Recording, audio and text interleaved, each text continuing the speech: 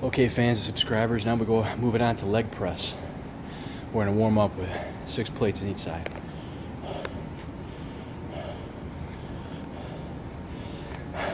Come get some.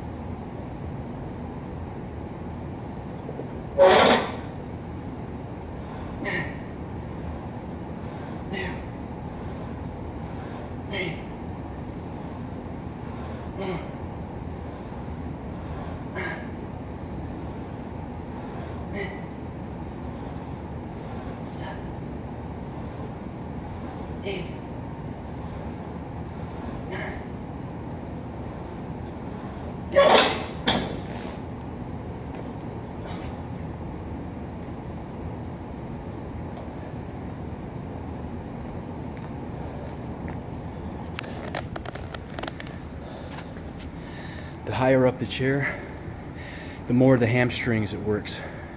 The farther back the chair, the more the front of the quads.